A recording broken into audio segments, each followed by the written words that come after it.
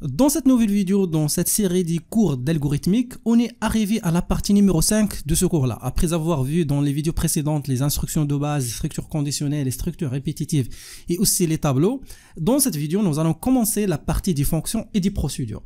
Avant de voir euh, qu'est-ce qu'une fonction, qu'est-ce qu'une procédure, on va commencer par l'activité suivante. On suppose qu'on a un algorithme. D'une façon générale, on a dit dans la première vidéo qu'un algorithme, c'est une suite d'instructions qui permet de résoudre un problème. On donne des entrées, là, par exemple, et l'algorithme va nous donner des résultats. Par exemple, on va donner la valeur A, la valeur B, l'algorithme permettra par exemple de calculer la somme de A plus B et va nous donner le résultat. D'une façon générale, si on a un programme, ou bien si on a un algorithme, un algorithme pourra contenir des sous-algorithmes. Par exemple, vous pouvez avoir une calculatrice qui contient ou bien qui permettra de faire à la fois l'addition, la soustraction, la multiplication et la division. Là, comme vous voyez, au niveau de ce programme-là, nous pouvons avoir plusieurs entrées-sorties à la fois. Donc, le programme permettra de faire plusieurs choses à la fois. Ou bien, nous pouvons, nous pouvons faire quoi? Nous pouvons diviser l'algorithme en sous-algorithmes. Chaque partie de l'algorithme permettra de réaliser une tâche, bien sûr, qui sera indépendante de l'autre tâche. Donc ça, c'est en fait le, principe du programme, des algorithmes actuellement, donc dans presque toutes les applications. Par exemple, si on prend un programme ou bien un site web comme par exemple Facebook, vous pouvez aller de Facebook, partager quelque chose, envoyer des messages, créer des groupes, créer des pages, euh, réagir à des publications. Vous pouvez faire tout ça sur Facebook. Donc ça, c'est un exemple de, euh, ce programme. Alors là, euh, au niveau de l'algorithmique, il y a deux manières pour créer les sous-programmes. Soit vous pouvez utiliser des fonctions, c'est-à-dire un programme peut contenir plusieurs fonctions un programme par exemple de calculatrice pourra avoir, ou bien un algorithme de calculatrice pourra avoir une fonction pour calculer la somme, une autre pour calculer la soustraction, une autre pour calculer la puissance par exemple. Vous pouvez aussi, à l'aide d'un algorithme, créer ce qu'on appelle les procédures. Donc un algorithme pourra contenir plusieurs procédures. Et aussi un algorithme peut contenir à la fois des fonctions et des procédures. Alors Aujourd'hui, on va voir qu'est-ce qu'une fonction et qu'est-ce qu'une procédure. Et on va voir ça à travers des exemples concrets. On va commencer bien sûr avec les fonctions. Alors, une fonction, c'est comme le chapeau de magicien. Il va prendre la pain et il va donner une colombe. Donc c'est ça le concept ou bien l'objectif du chapeau du magicien. C'est exactement la même chose avec les fonctions. Une fonction prendra une variable ou bien la valeur d'une variable x et nous donne une valeur y. Donc on a, vous avez vu ça dans les cours de mathématiques, une fonction if de x vous donne y. Donc il se fait de donner la valeur de x et la fonction vous donne la valeur d'y.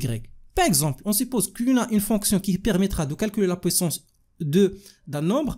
La fonction prendra la valeur 3 et va vous donner la valeur 9. Alors toujours, on a quelque chose d'entrée et quelque chose de sortie. C'est comme par exemple l'algorithme. Mais la particularité des fonctions, vous pouvez au sein d'un algorithme créer plusieurs fonctions. Alors, la définition générale des fonctions, une fonction c'est une suite d'instructions, c'est comme un algorithme, on dit comme un sous-algorithme. OK? Comme j'ai déjà dit, un algorithme pourra contenir plusieurs fonctions qui sont regroupées sur le même nom. Donc si vous voulez utiliser cette fonction, vous devez utiliser le nom ou bien appeler cette fonction avec son nom.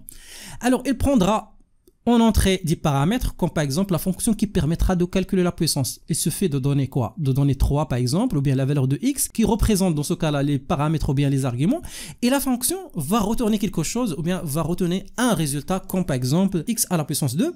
Une fonction, il écrit, donc ça c'est une chose très importante, il écrit euh, séparément du corps de l'algorithme principal. Il sera appelé par celui-ci lorsqu'il sera nécessaire. Alors, qu'est-ce que ça veut dire ça? Ça veut dire que si vous avez un algorithme, par exemple, qui permettra de faire quelque chose, vous pouvez définir à l'intérieur de cet algorithme une fonction. Et puis, au moment d'exécution des instructions, vous pouvez appeler cette fonction. Alors au niveau de cette vidéo-là, vous allez comprendre comment faire tout ça. Une fonction dans l'algorithme. Donc il y a deux choses, comme j'ai déjà dit. Il faut d'abord écrire ou bien déclarer la fonction. Il faut déclarer, il faut définir la fonction. Et la deuxième chose, si vous voulez utiliser la fonction, il faut appeler la fonction. Alors, je vais vous montrer comment d'abord déclarer une fonction et après comment appeler la fonction au sein d'un algorithme. On va commencer avec la déclaration. La déclaration d'une fonction consiste à faire les choses suivantes. D'abord, il faut préciser un nom de la fonction, il faut donner les arguments bien les paramètres de cette fonction, il faut préciser le traitement euh, qui sera exécuté, bien fait par la fonction et finalement, il faut préciser ou bien mentionner le résultat retourné. Donc, on va maintenant passer à les choses concrètes sur un algorithme. Ça, c'est la définition générale d'une fonction. D'abord, ça, c'est le nom de la fonction. Donc, toujours, il faut commencer avec le mot fonction. Après, on va voir que les procédures commencent avec le mot procédure. Alors là, la première chose, on commence avec le mot fonction. Après, le nom qu'on va choisir pour cette fonction, là, j'ai mis une erreur, donc c'est fonction, donc il faut ajouter c'est là. Ça, ce sont les arguments. L'argument numéro 1, l'argument numéro 2, l'argument numéro 3, ainsi de suite. Là, il se fait de donner le nom de l'algorithme et le type. Par exemple, l'argument X, le type c'est entier. Et là, c'est une chose très très importante. Il faut ajouter les deux points et après le type de routeur. Qu'est-ce que veut dire le type de routeur? On a dit que la fonction puissance, par exemple, prendra une variable x et vous donne la valeur de y, c'est-à-dire x à la puissance 2. Là, il faut mentionner le type de y dans ce cas-là. Je vous rappelle que x, donc une fonction par exemple de puissance, prendra la valeur de x et il vous donne la valeur y. C'est-à-dire, si vous avez 3, la fonction va vous donner, dans ce cas-là, 9. Euh, Alors, dans ce cas-là, x, c'est l'argument, par exemple, et y, c'est la variable de retour. Et là, dans ce cas-là, il faut préciser le type de y. Si vous avez le type entier, vous allez mettre là entier. Si vous avez réel, vous allez mettre là réel. Alors là, ce sont, comme j'ai déjà dit, ce sont les arguments. Et ça, c'est le type de résultat retourné. Après là, ce sont des variables locales qui sont utilisées juste à l'intérieur de cette fonction pas dans l'extérieur de cette fonction, c'est-à-dire au niveau de l'algorithme. Donc ces variables-là sont valides à l'intérieur de cette fonction. Et là, ça ce sont le traitement, donc l'instruction numéro 1, 2, 3 qui permettra de résoudre le problème. Et finalement, il faut obligatoirement ajouter ça. Il faut retourner le résultat. Ou bien ici on met généralement la variable retournée. Donc là c'est vous voulez retenir y. Donc après le calcul de y par exemple, là vous devez mettre y. Voilà, et le type de cette variable est déjà mentionné là. Donc, le type de retour. Alors là, ça c'est la définition générale d'une fonction. On va passer à un exemple. On suppose que nous voulons créer la fonction puissance. Alors, pour bien comprendre comment créer une fonction puissance, essayez d'abord de créer vous-même la fonction et après voir la solution. Alors, dans ce cas-là, il faut commencer comme l'habitude avec le mot fonction pour dire à, l'algorithme ou bien au programme que ça c'est une fonction. Il faut ajouter le nom de la fonction et entre deux parenthèses, il faut mentionner quoi? Les arguments. Donc, évidemment, la puissance prendra la variable dans ce cas-là ou bien l'argument n, la valeur de n. Donc ça c'est le nom de cette variable qu'on doit mettre à chaque appel de sa fonction n. Et là, c'est le type de cette variable. Donc après deux points, le type, le type de cette variable. Et là, c'est le type de la valeur retournée vers la fin. Après, on doit déclarer si vous voulez, ou bien si besoin de faire ça, les variables, donc les variables locales de la fonction. Et après, entre début et fin, le traitement de la fonction et après la valeur ou bien la variable retournée. Alors dans ce cas-là, la variable, on aura besoin d'une variable P qui va contenir n à la puissance 2, donc ça c'est l'opérateur de la puissance, n à la puissance 2. Donc on a déclaré p qui sera utilisé à l'intérieur de cette fonction, donc de type entier, et là on a affecté à p la puissance de n à la puissance 2, et après l'étape suivante c'est de retourner la valeur de p. Donc il faut retourner la valeur de p, et à l'aide euh, de cette déclaration, maintenant nous pouvons utiliser la fonction puissance, il se fait de donner un argument à cette fonction et la fonction va vous retourner le résultat final. Alors, on passe maintenant à la deuxième chose. On a dit que ça, c'est uniquement la définition. Maintenant, après la définition, il faut appeler la fonction. Comment appeler la fonction? C'est ce qu'on va voir maintenant. Pour appeler une fonction, il y a trois méthodes. Je vous donne les trois méthodes. La première méthode, vous pouvez tout simplement appeler la fonction en utilisant cette instruction. On sait bien, par exemple, que la puissance le nom de la fonction c'est puissance. Entre deux paramètres, on va mettre la valeur par exemple 3 et après on va affecter le résultat de cette fonction à une autre variable. Et maintenant vous pouvez utiliser cette variable euh, qui va contenir le résultat de votre fonction. Ça c'est la première méthode. Vous pouvez utiliser la fonction euh, directement dans une euh, opération de calcul. Comme par exemple, vous avez une variable, une autre variable, et vous pouvez mettre cette variable-là sur le résultat de cette fonction, et vous pouvez affecter ce, résultat à cette variable. Donc ça, c'est un autre choix. Le dernier choix, le plus utilisé, c'est d'utiliser directement, si vous voulez afficher la valeur de cette fonction, d'utiliser directement la fonction écrire. Et entre deux parenthèses de la fonction écrite, vous mettez le nom de la fonction et après, les arguments entre deux parenthèses. Si vous mettez par exemple la puissance entre deux parenthèses 3, allez d'écrire, écrire va faire quoi? Il va afficher le résultat de la fonction, c'est-à-dire 9 par exemple. Un exemple, on a la fonction qu'on a vue tout à l'heure, la fonction puissance. Donc ça, c'est la déclaration. Vous pouvez, comme j'ai déjà dit, utiliser cette fonction au sein d'un algorithme ou bien au sein d'un programme. Alors là, comment l'utiliser? C'est avec la méthode suivante. Donc, dans le bloc de déclaration, vous Normalement, on fait la déclaration des variables. Maintenant, on peut aussi déclarer des fonctions, comme suit. Là, on a déclaré une fonction qui sera prête à l'utilisation après. Alors, la fonction, c'est puissance. Elle prendra la, variable n et elle vous donne donc le, résultat sous la forme d'une variable aussi de type entier. Et là, c'est la variable retournée, ça c'est le traitement et tout ça. Après cette déclaration-là des variables, c'est concerne l'algorithme, ok? Cette variable-là, la déclaration de cette variable-là concerne la fonction puissance. Donc il faut différencier les deux. Ces variables-là, ce sont nommées, ou bien on dit que ce sont des variables globales, et ça, ce sont des variables locales au sein de la fonction puissance. L'étape suivante, ça c'est la déclaration. L'étape suivante, c'est l'utilisation de la fonction. On suppose qu'on a demandé à l'utilisateur euh, bien sûr, ça c'est comme j'ai déjà dit, c'est la déclaration de la fonction. On suppose qu'on a demandé à l'utilisateur de saisir un nombre. Donc on a récupéré ce que l'utilisateur a saisi dans la variable x. Maintenant, nous pouvons utiliser la fonction puissance. Vous pouvez l'utiliser de la manière suivante, tout simplement. Là, vous pouvez utiliser, en utilisant la troisième méthode euh, qu'on a vu dans l'appel, donc la puissance par exemple du nombre x, et, et vous mettez là, comme vous voyez là, la fonction puissance sans les pour avoir le résultat de cette variable là ou bien le résultat de cette fonction et entre deux parenthèses vous mettez x. Le résultat de tout ça c'est que si l'utilisateur par exemple vous donne pour x la valeur par exemple 5, tout simplement vous aurez dans l'écran par exemple de l'utilisateur on suppose que ça c'est l'écran après la saisie de 5 que voilà ce texte là la puissance par exemple de 5 est 20 ou 25. C'est ça un exemple d'exécution de cette fonction. Donc ça, c'est la première méthode. Vous pouvez même euh, changer l'utilisation ou bien comment appeler la fonction. Vous pouvez déclarer une autre variable. Par exemple, vous pouvez mettre la P. Après, vous pouvez affecter à P quoi? Le résultat de la puissance. Puissance entre deux parenthèses X. Et là, vous pouvez ajouter au niveau de cette ligne-là euh, la puissance du nombre x et tout simplement virgule et vous pouvez mettre tout simplement la variable p puisque vous avez déjà stocké le résultat de cette fonction au niveau de la variable p. Probablement vous allez poser la question suivante, pourquoi on utilise les fonctions, c'est trop, il faut déclarer, il faut faire tout ça? Là, vous allez imaginer la situation suivante. Vous voulez calculer la puissance du nombre x, vous voulez calculer la puissance de la variable y, vous voulez aussi calculer la puissance de la variable z.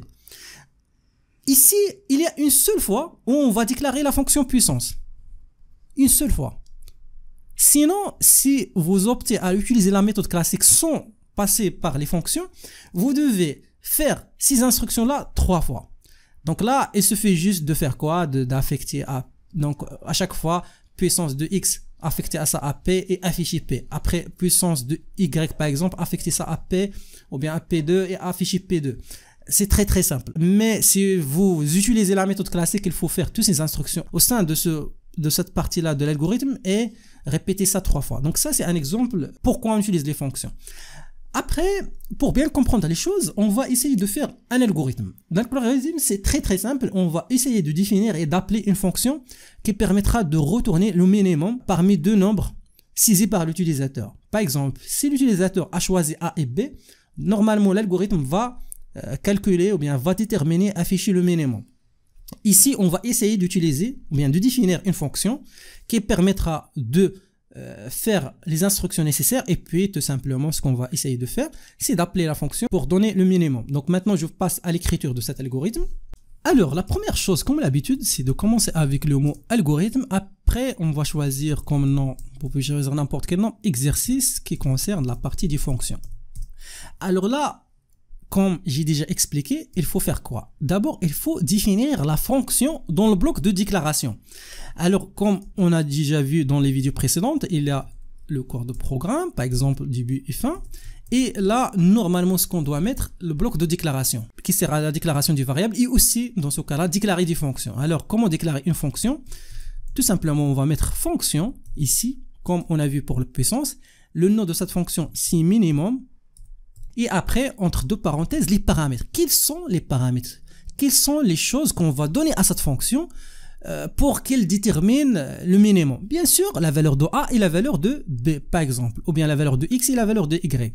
Alors là, on va donner le paramètre X, et avant de passer au paramètre Y, il faut préciser le type de la variable X. Dans ce cas-là, le type de la variable X, c'est entier.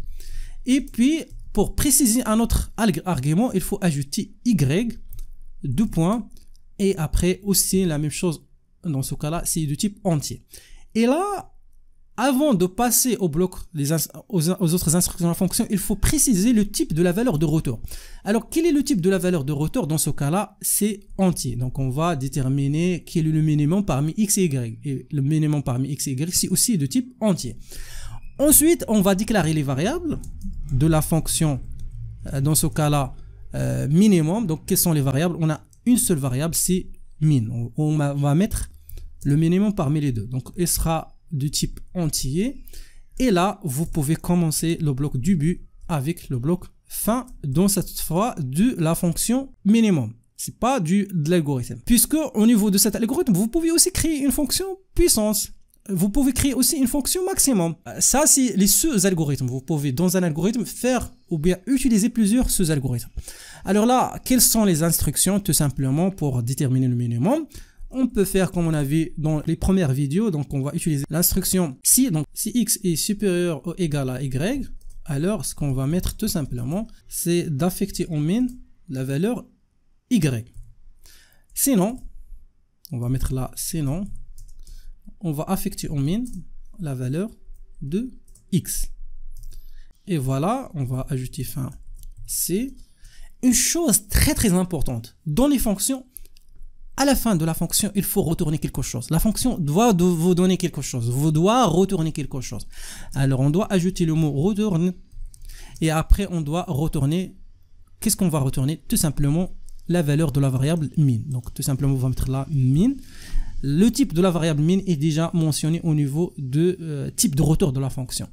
Alors, ça, c'est la définition de la fonction minimum. Maintenant, on va continuer notre algorithme. On va continuer les autres instructions de l'algorithme exercice fonction. Au niveau de cet algorithme, on va utiliser des variables. Quelles sont ces variables? La, variable x et aussi la variable y. Les deux sont de type entier. Ok, il faut différencier entre les variables de cet algorithme et les variables de la fonction. Ces variables-là seront utilisées au moment de l'appel de la fonction. Là, vous pouvez ajouter d'autres variables que vous pouvez l'utiliser pour toutes les instructions de l'algorithme, c'est-à-dire des variables globales. Ça, ce sont des variables ici au niveau de l'algorithme, variables locales, et ça, ce sont juste des arguments qui seront utilisés au niveau de cette fonction. Après, euh, l'étape suivante, c'est euh, de demander ou bien d'afficher un petit message, écrire. Là, euh, on va demander à l'utilisateur de saisir la valeur de x et la valeur de y. Par exemple, on peut faire la chose suivante, c'est entrer euh, les valeurs de x, y, par exemple. Et là, euh, ce qu'on va tout simplement faire, c'est lire pour récupérer les deux valeurs à la fois. Donc, vous pouvez utiliser deux instructions, écrire, donner la valeur de x, donner après la valeur de y, utiliser deux lire, lire x et lire y. Mais vous pouvez aussi utiliser deux en même temps x et y. Voilà, après le saisie de ces deux valeurs, donc vous pouvez soit utiliser la première méthode pour appeler la fonction, c'est-à-dire déclarer une variable min et affecter le résultat de cette fonction à cette variable-là, ou bien directement écrire là le min minimum et par exemple dans ce cas-là virgule, appeler directement la fonction, c'est-à-dire la fonction minimum, ok? Fonction minimum, donc il faut faire attention, il faut mettre minimum sans les guillemets. Par exemple là, euh, ce mot-là, c'est juste un texte qui sera affiché puisqu'il est déjà entre les deux guillemets. Alors là, minimum, entre deux parenthèses, on va mettre là x, virgule, y. On va fermer. Oui, voilà, ça c'est la déclaration de la fonction. Et ça, c'est l'appel de la fonction. Comme j'ai déjà expliqué, à l'aide d'une fonction, vous pouvez appeler ou bien utiliser la fonction plusieurs fois.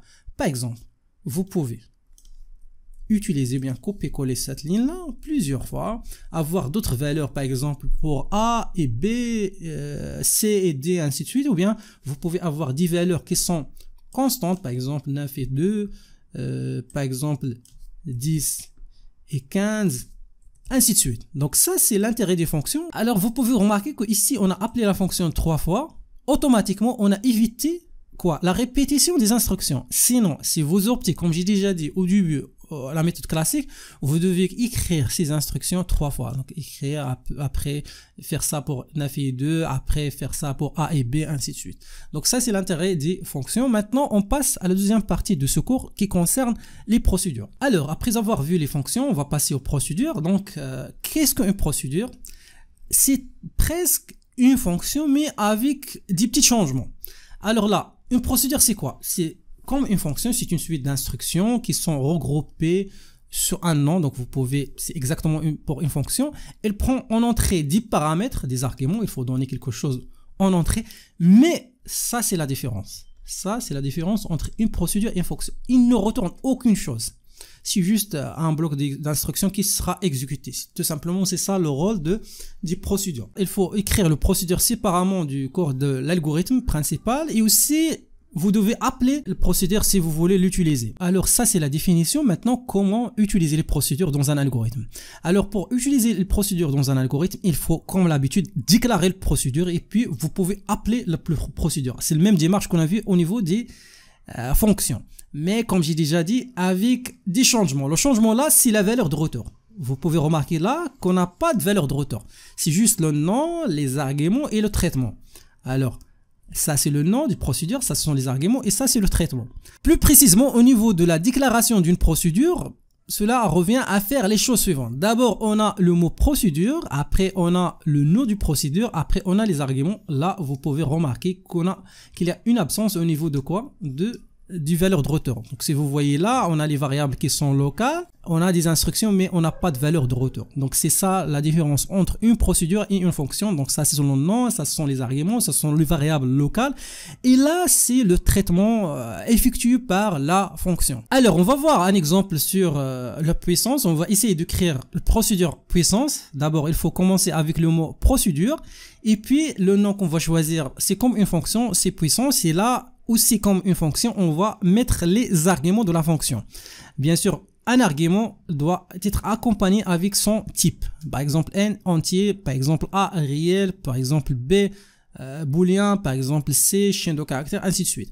Là, vous, vous remarquez, comme j'ai déjà dit, l'absence de type de rotor, donc puisque c'est juste un procédure, un ensemble des instructions qui seront exécutées. Après, euh, on doit utiliser, ou bien on doit déclarer les variables, on doit mettre du but et fin. Pour les variables, on a une seule variable, c'est la variable P de type entier, et puis ça c'est le traitement, donc pour calculer P, c'est n à la puissance 2. Différence entre procédure et les fonctions, c'est la valeur retournée ou bien la variable retournée. Là, au niveau des procédures, si vous voulez afficher quelque chose ou bien euh, compléter le traitement, il faut afficher là le résultat. De la manière suivante, vous pouvez mettre là, écrire la puissance de nombre n et p tout simplement, puisque là, euh, la variable p est une variable locale et pour n, c'est une variable ou bien c'est un argument.